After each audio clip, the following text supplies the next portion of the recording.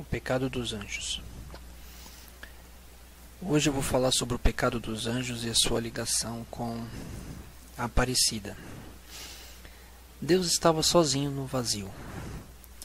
Ele viveu por muito tempo assim. Até que um dia ele resolveu começar a criar as coisas. Criou um reino celestial e criou os anjos para estar ali louvando e adorando a ele. Os anjos era a criação mais importante de Deus. Deus fez eles para ser seus amigos e para estar ali eh, louvando e adorando a Ele. Um dia, um anjo começou a querer ser igual a Deus, querer receber louvor da mesma forma que Deus recebia. Isso está escrito em Isaías capítulo 14. Mostra o pensamento daquele anjo ele queria estar ao lado de Deus, no seu Monte Santo, ali do lado do trono, recebendo louvor igual a Deus. E ele começou a fazer sua propaganda no céu, tentando levar os outros anjos a aceitar e a querer cantar louvores para ele também. Os outros anjos começaram a pensar que ele merecia louvores. Está escrito em Ezequiel capítulo 28 que esse anjo fez comércio com os outros anjos. Aqui existe um mistério, mas essa palavra comércio ela mostra que ele ofereceu alguma coisa em troca de os outros anjos cantarem louvores para ele. Foi isso que aconteceu. E aí, um terço dos anjos começou a cantar louvores para ele. E foram todos expulsos junto com ele. Deus teve a ideia de criar essa terra com o casal, Adão e Eva, para daí ele começar a restaurar tudo que ele tinha perdido. Deus teve um momento de tristeza muito grande, perdeu um terço dos anjos né, foi uma perda muito grande, foi um momento de tristeza para ele. Então, para começar esse processo de restauração, fez esse mundo, fez o casal Adão e Eva. Para desse casal vinham os substitutos desses anjos que foram perdidos, que somos nós. Nós fomos criados para sermos substitutos desses anjos. Tem um estudo que fala só sobre essa questão, é o estudo substituto dos anjos você pode ver aqui nessa mesma página que fala bem detalhado ponto por ponto sobre essa questão. Hoje esses anjos que foram expulsos querem que a gente cometamos o mesmo pecado que eles. Que a gente cante louvor para uma criatura, não importa quem seja, porque aí nós vamos estar tá cometendo o mesmo pecado que eles que o pecado dele, daquele um terço de anjos, foi o de cantar louvor para a criatura. E os católicos, sem saber, cometem esse mesmo pecado, porque cantam louvor para Maria e para santos. Então, os católicos, sem saber, cometem o mesmo pecado deles porque canta louvor para a criatura. E isso é um pecado terrível diante de Deus, porque Deus não aceita isso. Deus falou na sua palavra que a igreja é a sua noiva. A figura da noiva mostra como que tem que ser o relacionamento dos cristãos com Deus. É a figura perfeita que Deus usou. Deus disse em Apocalipse capítulo 19 sobre a noiva. E Apocalipse capítulo 21 também é falado sobre a noiva, a igreja a noiva.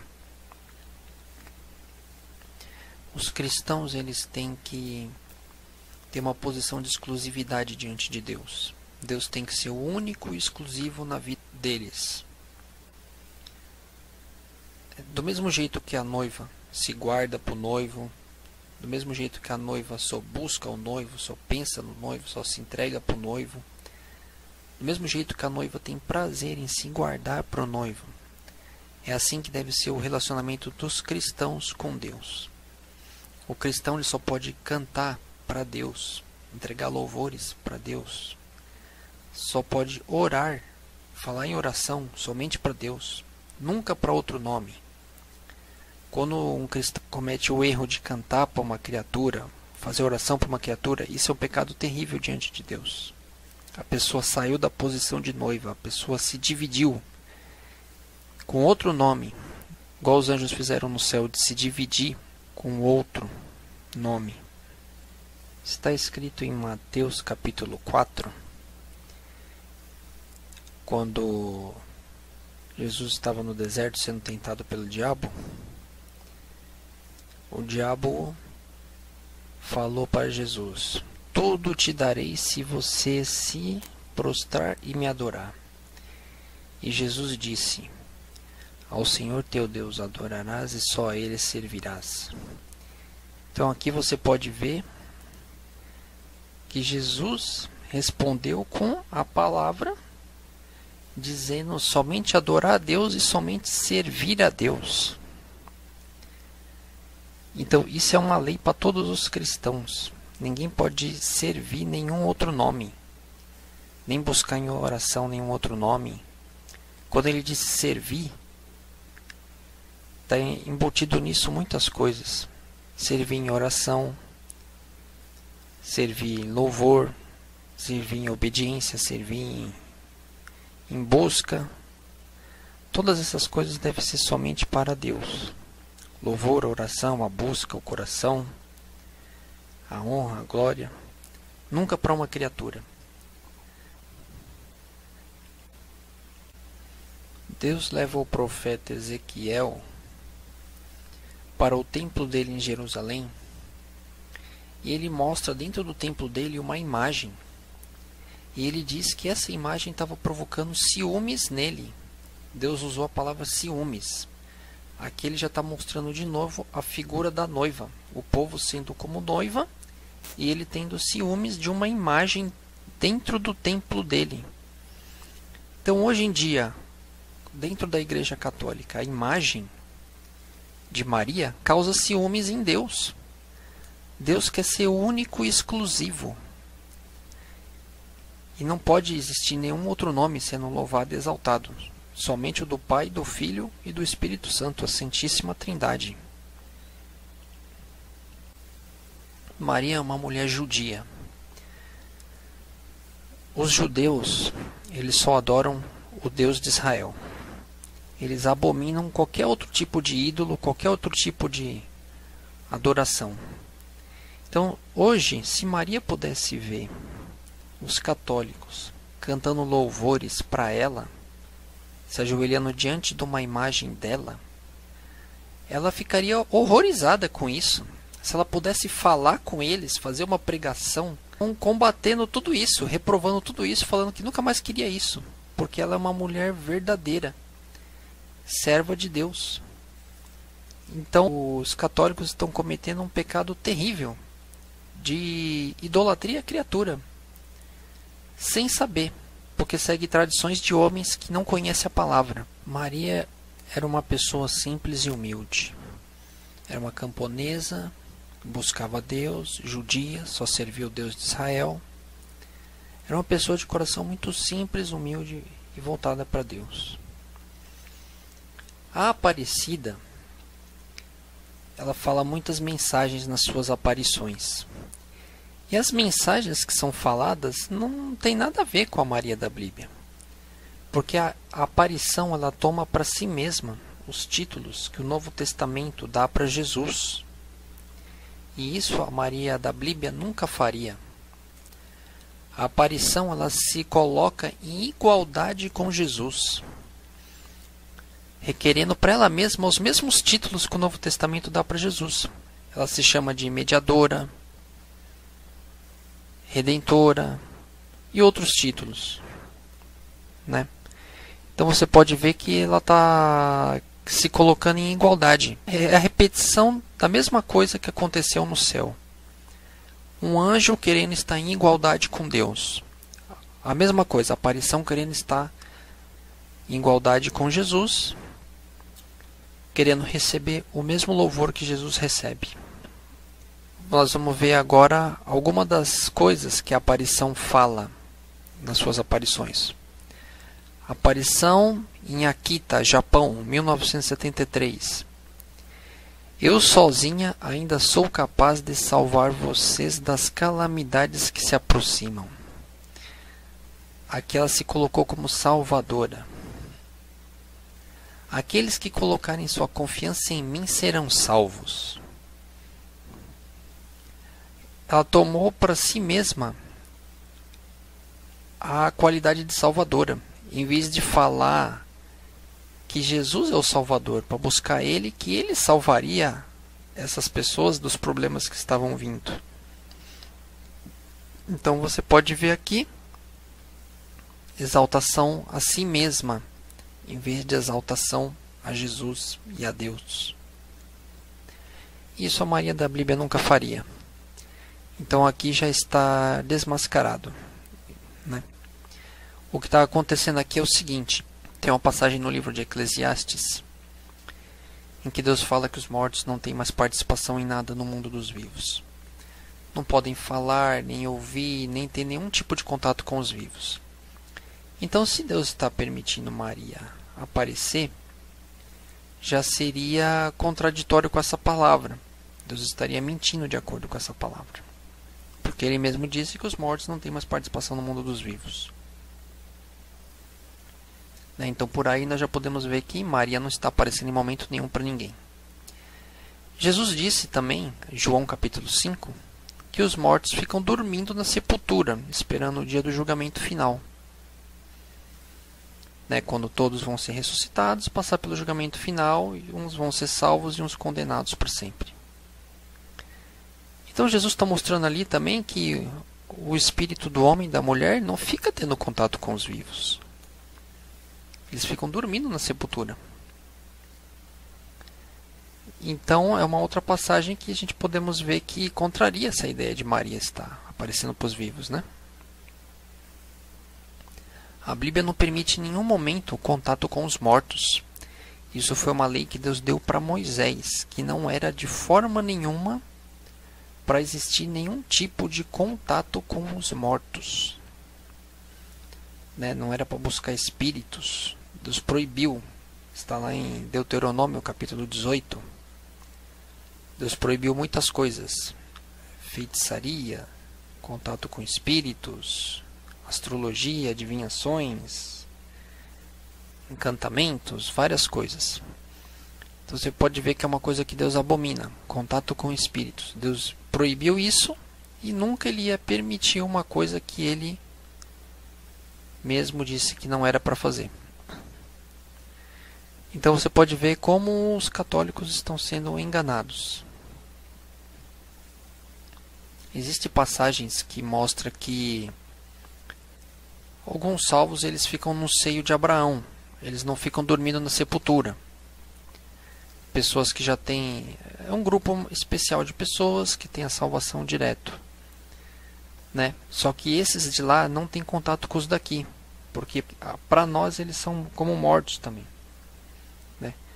O apóstolo Paulo disse que Deus estabeleceu Jesus como único mediador entre ele e nós. Isso está em 1 Timóteo capítulo 2. Jesus é o único mediador. O apóstolo Paulo usou a palavra único. Então, o Papa ele não pode estabelecer nenhum outro nome como mediador entre nós e Deus. Ele não pode estabelecer nenhum outro nome.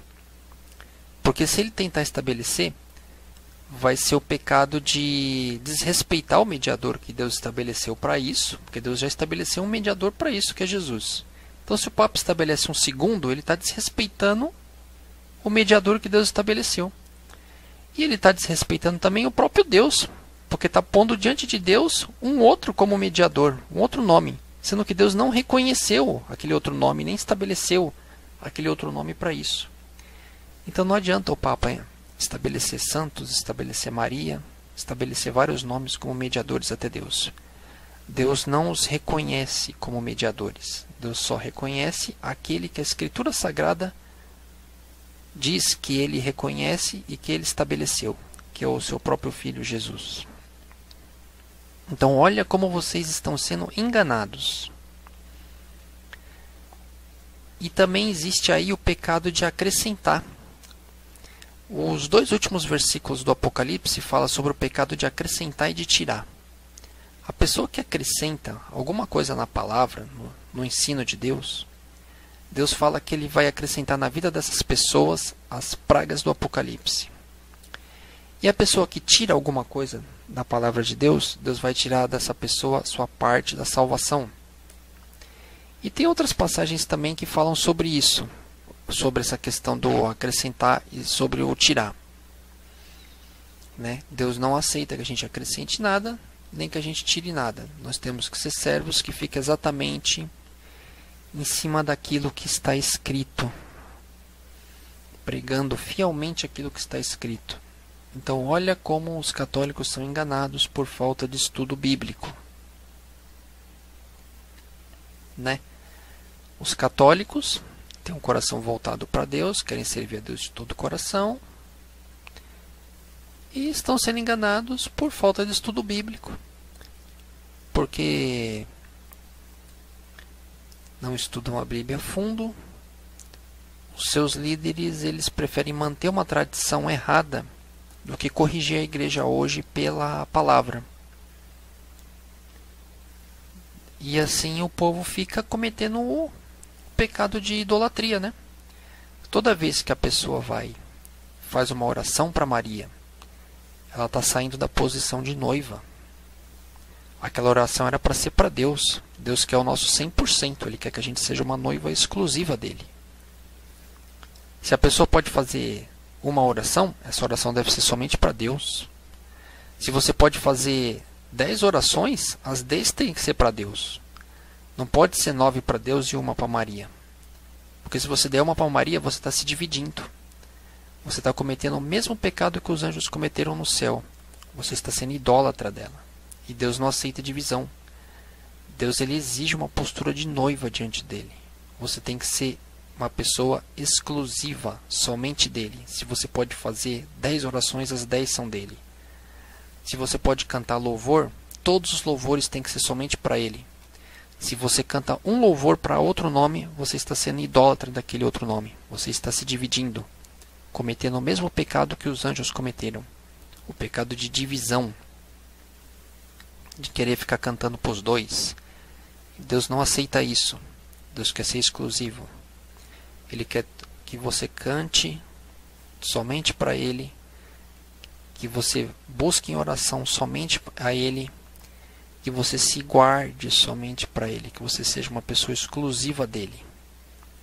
E aí sim você vai estar incluída naquela noiva que é falada no Apocalipse a noiva que entrou no céu no último dia para a festa celestial que vai ter, recebendo a igreja santa. Essa noiva são as pessoas que têm Deus como único exclusivo na terra, que não se dividiram. E hoje em dia, o que o diabo mais quer fazer é que a gente cometa o mesmo pecado que os anjos cometeram os anjos cantaram louvor para ele. Então os anjos se dividiram. E o diabo quer que hoje eu e você cantemos louvor para qualquer nome. Pode ser Maria, pode ser um apóstolo, não importa. Que cante louvor para outro nome para que esteja se dividindo e assim cometendo um pecado diante de Deus. Jesus disse em Lucas capítulo 7 que a maior pessoa que nasceu na descendência de Adão e Eva foi João Batista. Então, olha como o Papa ensina tudo errado para os católicos. Se vocês querem idolatrar alguém, a pessoa certa seria João Batista, porque o próprio Jesus disse que João Batista é o maior que nasceu na descendência de Adão e Eva. Então, não é Maria, então, olha como o Papa já escolheu a pessoa errada. Então, olha como vocês estão sendo enganados. O Papa ainda escolheu a pessoa errada para fazer a promoção em cima. Então, olha como os católicos estão sendo enganados por falta de estudo bíblico.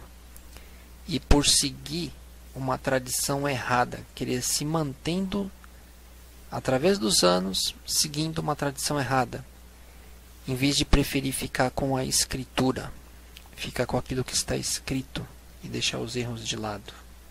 A palavra de Deus vem para corrigir a gente todo dia. A palavra corrige a gente. A gente temos que aceitar a correção. A gente temos que cada dia ser transformados pela palavra, cada vez mais tirando os erros da nossa vida. Acontecendo uma transformação dia a dia, para que no último dia a gente esteja pronto para poder entrar no céu. A palavra vem para corrigir. A palavra está te corrigindo hoje. Deus está te falando. Ele requer uma posição de noiva. Que você seja uma pessoa exclusiva somente dele e todo o seu louvor, suas orações, toda a honra e toda a glória que você for entregar, que seja somente a Ele. Que você não divida nada para outro nome. Porque quem faz isso comete o pecado da idolatria. A pessoa escolheu um ídolo e começa a exaltar esse ídolo. Começa a dividir a sua busca com esse ídolo. E Existem passagens no Novo Testamento e no Velho também que fala que os idólatras não vão entrar no reino dos céus. Então tome muito cuidado, não brinque com a sua salvação. Salvação é uma coisa muito séria. É uma coisa para toda a eternidade. Não compensa você morrer cantando louvor para uma criatura e perder sua eternidade por causa disso. É muito mais inteligente você estudar a Bíblia, ler todas essas passagens que eu estou te falando, pedir perdão para Deus hoje, se corrigir, tomar uma postura de noiva diante dele, ter ele como único exclusivo da sua vida, para que se você morrer hoje, você possa morrer com a salvação garantida e ir direto para o céu. Os padres falam que você é uma pessoa muito pecadora, que você não pode falar diretamente com Jesus, que você não vai ser ouvida. Mas o livro de Hebreus, no Novo Testamento, fala que é para nós termos ousadia de entrar diante de Deus em oração, porque o sacrifício que Jesus fez abriu esse caminho para nós até o trono de Deus, para Deus ouvir a nós diretamente. Quando Jesus disse está consumado ali na cruz, está escrito que o véu do templo se rasgou de alto a baixo. Aquele véu é o que separava o lugar santo do lugar santíssimo, dentro do templo. Era uma cortina que separava o lugar santo do lugar santíssimo. Dois cômodos separados por uma cortina. Aquele lugar santíssimo era onde ficava a arca dos dez mandamentos. A própria presença de Deus estava ali. Quando Jesus morreu na cruz, ele disse: Está consumado, está tudo feito, está terminado. E ali o véu do templo se rasgou de alto a baixo no meio, ficou aberto. Isso significa que pelo sacrifício dele não existe mais impedimento para ter acesso até Deus. Nós temos o acesso livre até Deus pelo sacrifício que Jesus fez por nós na cruz, pagando por todos os nossos pecados. Nós temos acesso total até Deus na oração. Podemos falar diretamente com Deus, vamos ser ouvidos, porque temos Jesus como nosso mediador, que morreu por nós e que é estabelecido como mediador, que pagou todas as nossas dívidas, que está à direita de Deus, pedindo por nós. Nós temos acesso total até Deus através de Jesus. Quando um católico faz uma oração para Maria, ele está cometendo um pecado de tentar comunicação com os mortos, uma coisa que Deus proibiu desde o tempo de Moisés.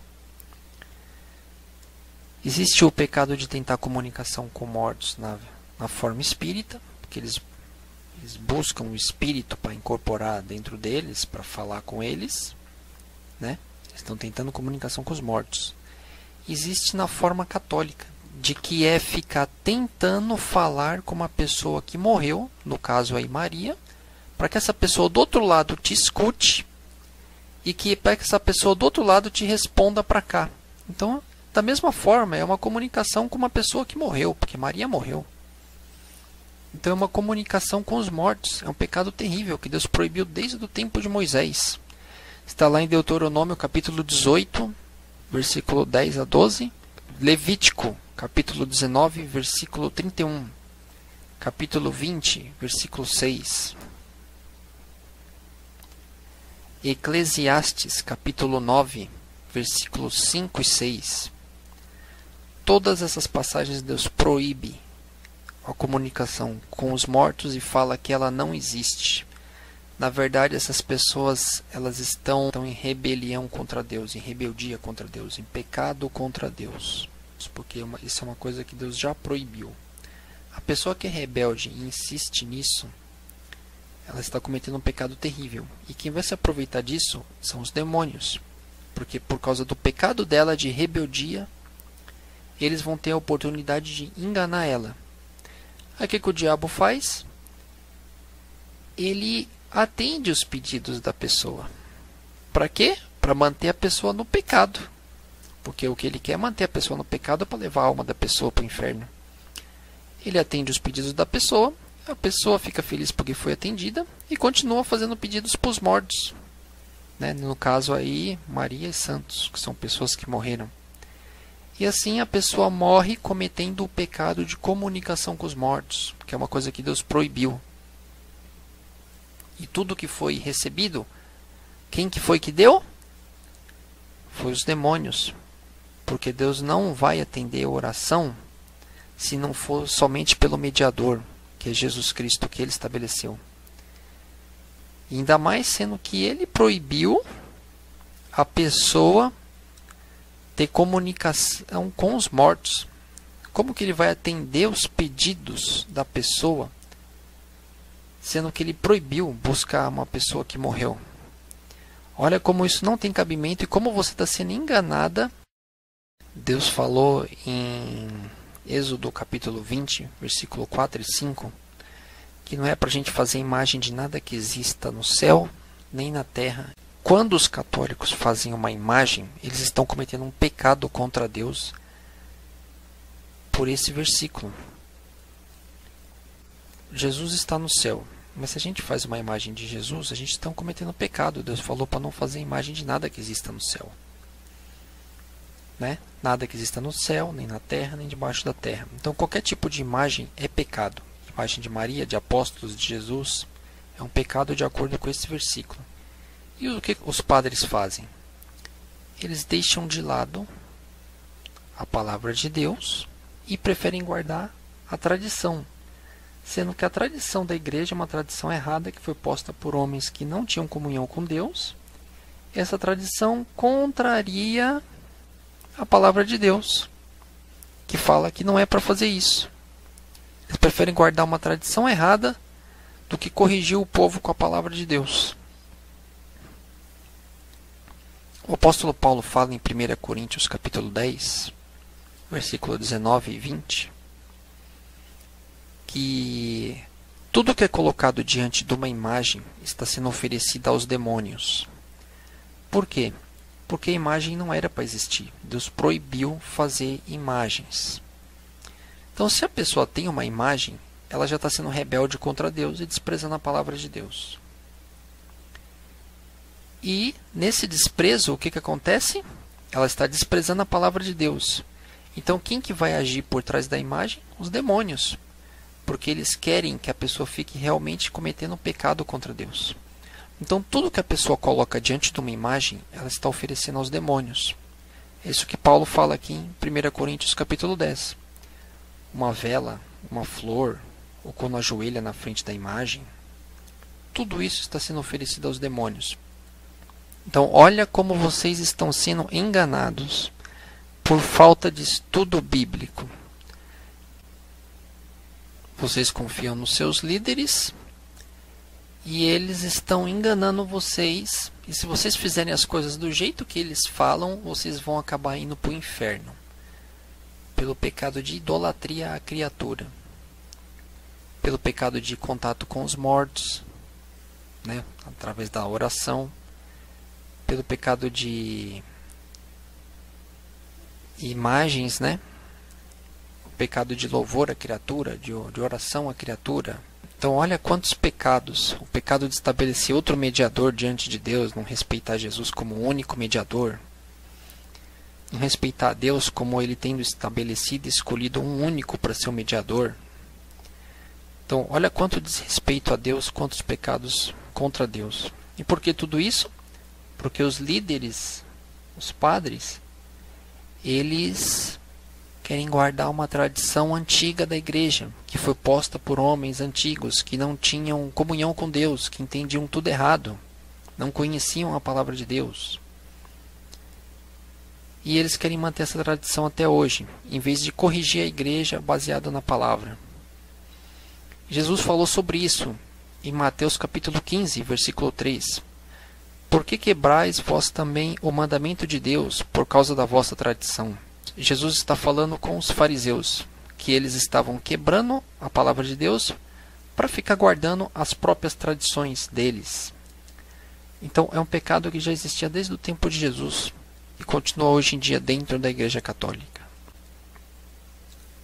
Os evangélicos são pessoas que seguem somente Jesus Cristo e a Bíblia.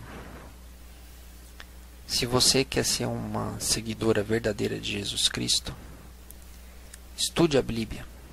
Estude profundamente a Bíblia. Não acredite nos seus líderes. Conheça profundamente a palavra, que por ali Deus vai falar com você. A sua igreja tem que ser as páginas do Novo Testamento. Não escolha uma igreja no chute e não fique seguindo o que essa igreja fala a sua igreja as páginas do Novo Testamento. Estude profundamente as páginas do Novo Testamento. Aqui nesse site você vai ver vários estudos da Bíblia, todos baseados com a palavra, com muitos versículos de prova do que está sendo dito. E já vai ser uma grande ajuda para facilitar você conhecer melhor a palavra de Deus. A Escritura mostra que Maria permaneceu virgem somente até Jesus nascer. Depois disso, ela foi esposa de José, no casamento que Deus preparou para os dois. A Escritura fala que José não se deitou com ela antes de Jesus nascer.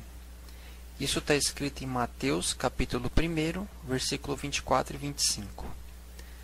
E José, despertando do sono, fez como o anjo do Senhor lhe ordenara e recebeu a sua mulher, e não a conheceu até que deu à luz seu filho, o primogênito, e pôs-lhe o nome de Jesus. Aqui está mostrando, não a conheceu até que deu à luz. Então isso significa que depois que ela deu à luz, ele a conheceu. Ele teve a vida de casal normal com ela e nasceu outras crianças do casamento dos dois. Isso está provado num outro versículo que eu já vou mostrar. E quando Jesus já era adulto, estava pregando e ele voltou para a terra dele, onde ele tinha vivido a vida inteira como criança. E quando ele chegou, o pessoal da cidade se espantou dele, que ele tinha poderes para fazer milagres, ele tinha muita sabedoria para pregar. E o povo falou essas coisas que eu vou ler aqui agora para vocês. Mateus capítulo 13, versículos 54 a 57. E chegando à sua terra, ensinava o povo na sinagoga, de modo que estes se maravilhavam e diziam: De onde lhe vem essa sabedoria e estes poderes milagrosos? Não é este o filho do carpinteiro? E não se chama sua mãe Maria e seus irmãos Tiago, José, Simão e Judas? E não estão entre nós todas as suas irmãs? De onde lhe vem, pois, tudo isso? Então, o que nós podemos ver aqui é que o pessoal da cidade, eles mesmos não acreditaram em Jesus e eles mostraram aqui os irmãos de Jesus, ó, quatro irmãos, Tiago, José, Simão e Judas, e falou também que tinham irmãs, irmãs no plural, que são os filhos do casamento de Maria com José. Então essas passagens mostram que Maria não morreu virgem. ela teve um casamento normal com José depois que Jesus nasceu e teve várias crianças. Mesmo que Maria morresse virgem, ela não seria santa por causa disso. A única coisa que nos santifica é o sacrifício de Jesus, que ele fez na cruz para pagar pelos nossos pecados. E esse sacrifício é a única coisa que pode tirar de nós a natureza pecadora que nós recebemos de Adão e Eva. Quando Adão e Eva pecou, toda a humanidade caiu junto com eles, no estado de pecado. Todos receberam a semente do pecado de Adão e Eva. Aquela semente passou. O pecado existia em Adão e Eva, e essa semente do pecado passou para toda a humanidade. E todos se tornaram pecadores por causa disso. E a única coisa que pode anular isso, dar o perdão desse pecado, é o sacrifício que Jesus fez na cruz, tanto dos pecados normais da nossa vida, como do pecado que nós recebemos de Adão e Eva. Algumas pessoas falam que Maria recebeu a purificação dos pecados antecipada para poder gerar Jesus. Isso é uma mentira. Porque essa purificação ela só acontece depois da morte, no momento em que a pessoa vai entrar no céu. Nunca acontece com a pessoa ainda estando viva nessa terra. Todas as pessoas que vivem nesse mundo elas são pecadoras até o último dia de vida. Quando falam que Maria recebeu a purificação antecipada para poder ter Jesus, eles estão acrescentando uma coisa que não está escrita. É o pecado de acrescentar uma coisa que não está escrita. É o pecado de exaltação. Então, exaltando Maria, dando para ela uma característica que ela não tem e cometendo um pecado de idolatria. É repetição do mesmo erro que os anjos fizeram no céu. Exaltando uma criatura, idolatrando uma criatura. Deus falou no Velho Testamento que o Messias nasceria de uma mulher virgem. Mas ele nunca falou que essa mulher seria sem pecado uma coisa sem cabimento que estão falando para exaltar Maria. Algumas pessoas falam que Maria nunca pecou. Isso é mentira, porque ela é uma mulher pecadora da descendência de Adão e Eva, que herdou a natureza pecadora de Adão e Eva, como todas as pessoas, como a humanidade inteira. E ela também é perdoada pelo sacrifício que Jesus fez na cruz. Quando falam que ela nunca pecou, estão acrescentando uma coisa que não está escrita para exaltar ela e idolatrar ela. E estão cometendo o mesmo pecado que um terço dos anjos cometeram no céu o pecado de idolatria à criatura. O apóstolo Paulo fala que todos morreram quando Adão pecou e que todos pecaram. Morreram aqui significa caíram diante de Deus. Todos se tornaram pecadores diante de Deus, todos caíram diante de Deus quando aconteceu aquele pecado de Adão. Isso está escrito em 1 Coríntios, capítulo 15, versículo 21 e 22. Porque assim como por um homem veio a morte, também por um homem veio a ressurreição dos mortos. Pois como em Adão todos morrem, do mesmo modo em Cristo todos serão vivificados. Isso significa que quando Adão pecou, toda a humanidade se tornou pecadora, caiu junto com ele, recebeu a semente do pecado. E pelo sacrifício de Jesus, todos têm a chance do perdão e da purificação para poder viver no céu novamente com Deus. Uma outra passagem que também fala sobre isso é Romanos capítulo 3, verso 23 e 24. Todos pecaram e destituídos estão da glória de Deus, sendo justificados gratuitamente pela sua graça, mediante a redenção que há em Cristo Jesus. O apóstolo Paulo está falando aqui que todas as pessoas pecaram. A humanidade inteira cometeu pecados.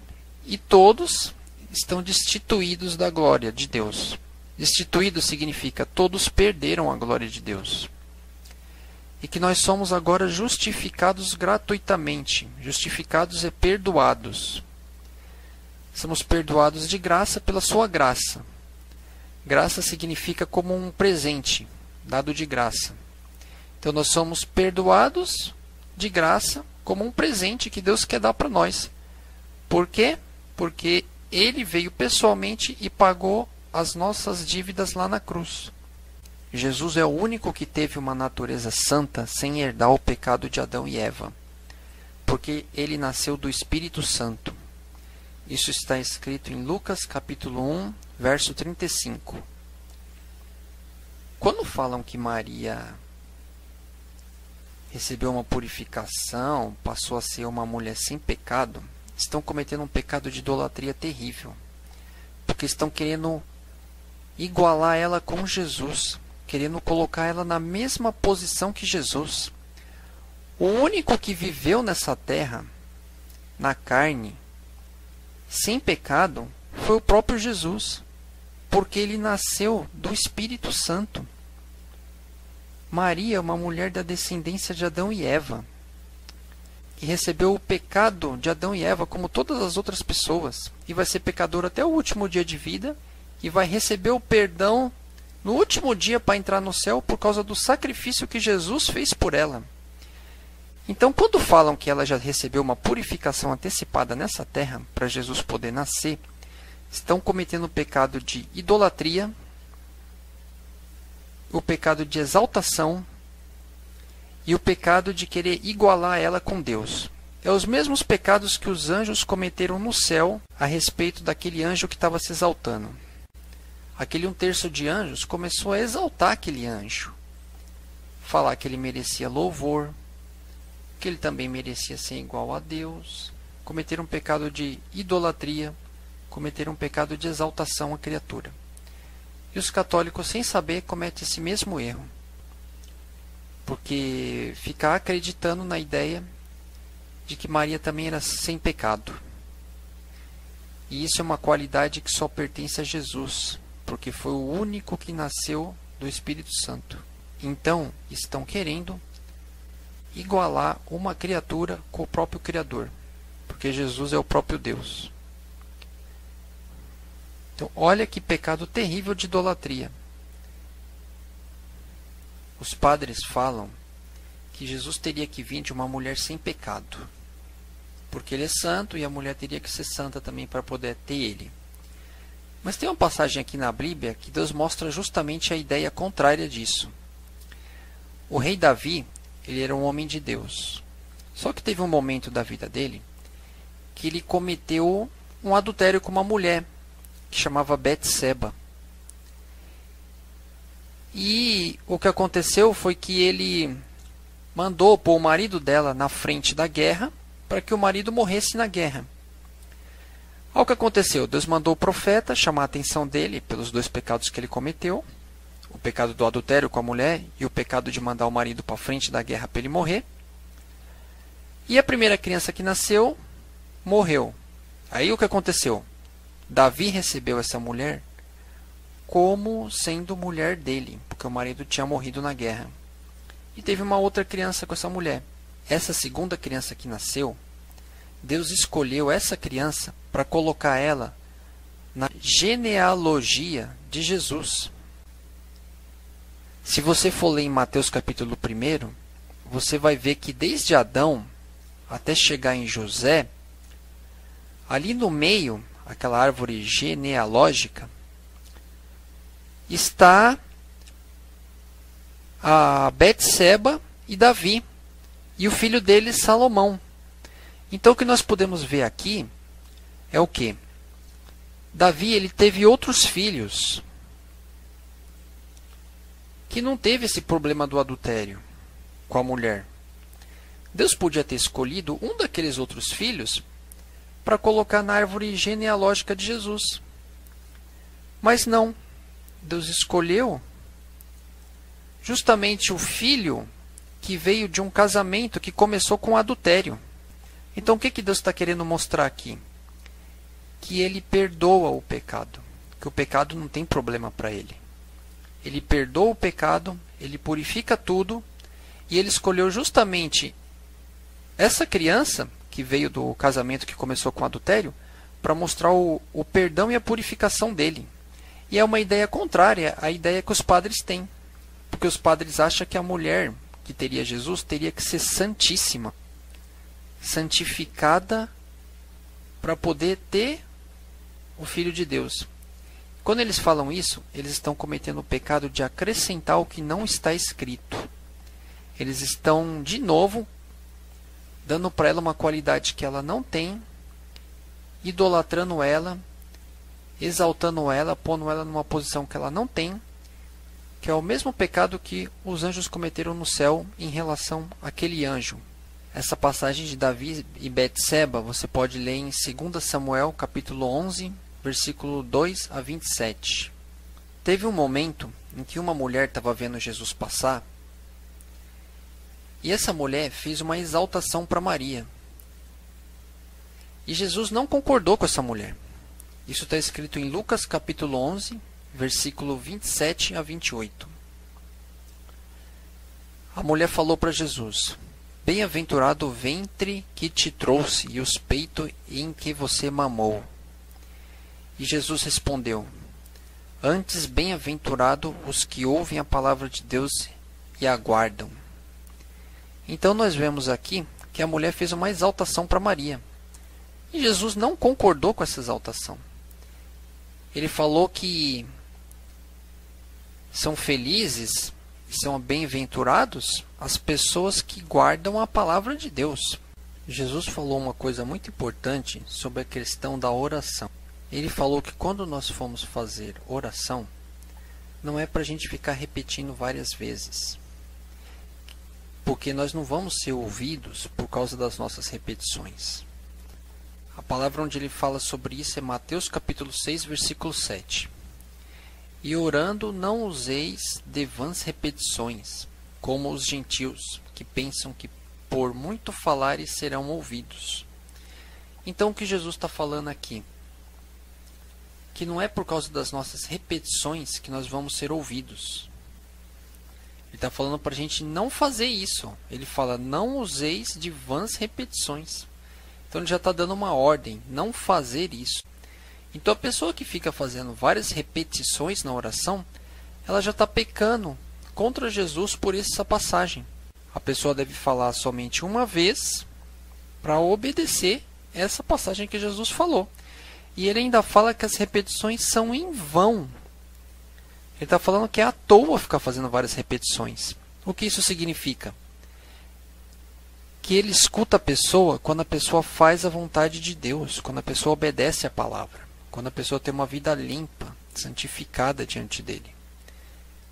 Se a pessoa tem uma vida limpa e santificada, a pessoa fala uma vez com ele e ele já escuta a oração da pessoa.